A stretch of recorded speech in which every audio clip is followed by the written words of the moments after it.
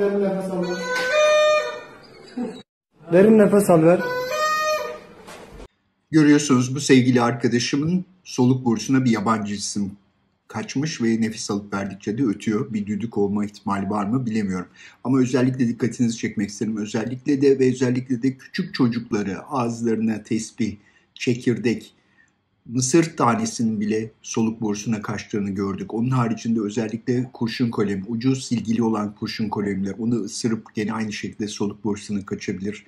0.5 kalem ucu aynı şekilde kaçabilir. Bunun haricinde karpuz çekirdeği, kabak çekirdeği, ay çekirdeği ve türban iğnesi ve toplu iğneler bütün bunların hepsi kaçabiliyor ve ondan sonra bir öksürük başlıyor veya uzun dönemde geçmeyen bir akciğer enfeksiyonu oluyor. Onun için lütfen küçük çocukları bu tip küçük şeylerden ve yiyeceklerden uzak tutunuz. Çünkü ileride çok sıkıntılar yaratabilir. Kronik enfeksiyonların bir kısmının altında yatan nedenler bir tanesi de budur efendim.